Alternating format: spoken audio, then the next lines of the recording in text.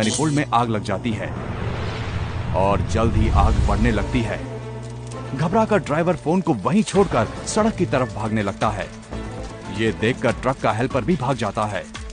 Truck के ऊपर चढ़े पेट्रोल पंप का हेल्पर आग को देखकर टैंक ट्रक के दूसरी ओर कूदकर पंप आइलैंड्स की ओर भाग गया। डरा हुआ सुपरवाइजर सभी कागजात फेंककर पास में रखे 10 किलो के फायर एक्सटिंग्विशर को लेने दौड़ा। पर यंत्र ने काम नहीं किया। वो दूसरा फायर एक्सटिंग्विशर लेने दौड़ा, पर उससे भी कुछ नहीं हुआ।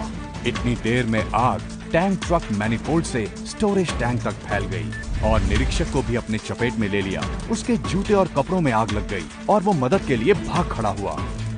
पेट्रोल पंप के मैनेजर ने दमकल केंद्र को तुरंत सूचित किया। दमकल की गाड़ियाँ सात मिनट में मौके पर पहुँच गईं और आखिरकार आग पर काबू पा लिया गया।